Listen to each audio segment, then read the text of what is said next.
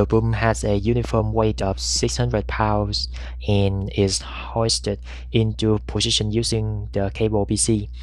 If the cable has a diameter of 0.5 inch, plot the average normal stress in the cable as a function of the boom position theta for theta uh, greater than or equal 0 and less than or equal 90 degrees okay so here's a figure for it and I have a free body diagram for it being drawn here.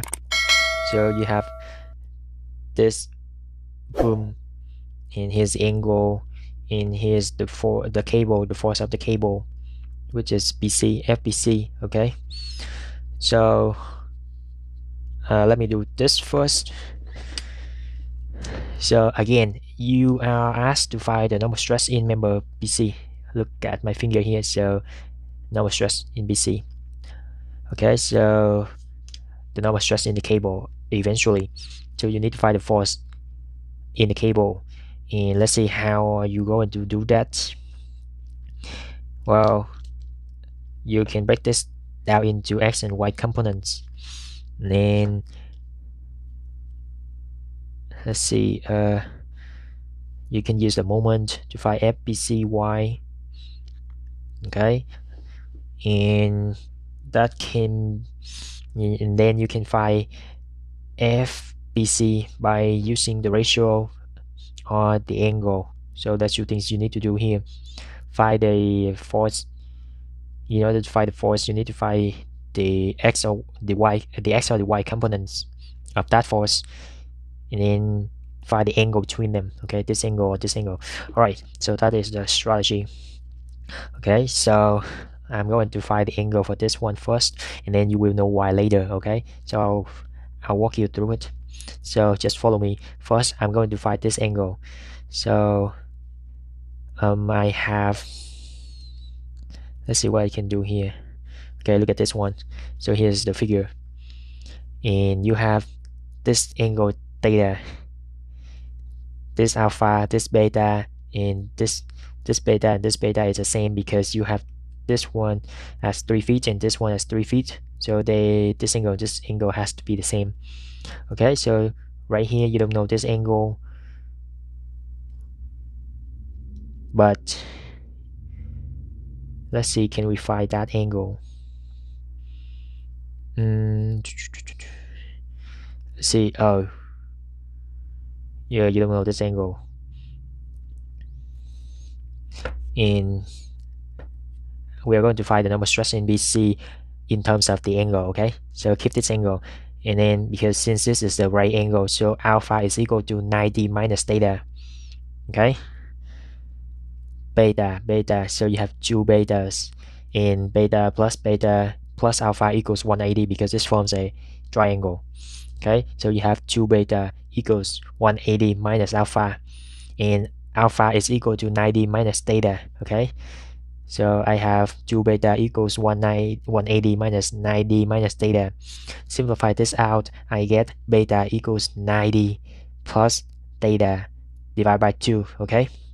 Just follow me okay? Here's it's a little bit uh, confusing because you have a lot of variables here all right so I know beta and back to here. So this angle is beta. And again this angle is the right angle. So beta plus gamma is equal to 90 so gamma is equal to 90 divide the subtract beta and beta is equal to 90 plus theta divided by 2 so I got gamma equals 45 divided by theta over 2 okay? Got it?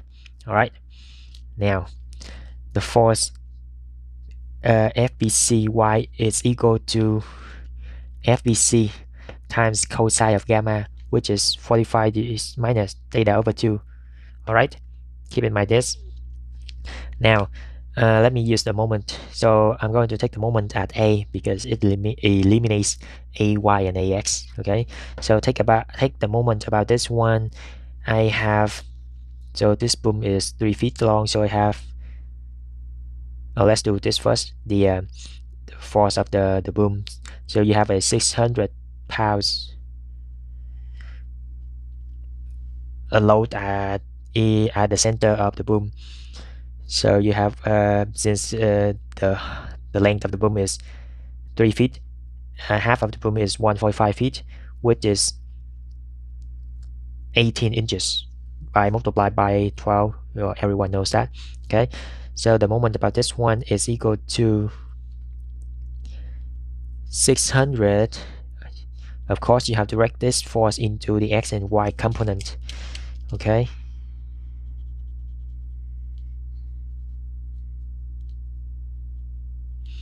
so this is y x.